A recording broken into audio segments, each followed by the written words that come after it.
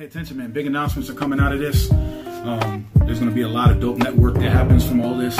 And uh, I'm really, really, really excited just to present the finished product to you guys, man, because I've, I've poured a lot of my heart into this. Um, I'm sorry, man. This has been a long time coming for me, man, and I'm just really excited to give you guys something that represents who I am um, and, you know, what's a big part of me. That's why I say we've been vintage, you know what I mean? Like everything about my name on, on Instagram is, is real. Everything about what I say and who I am and what I do is real.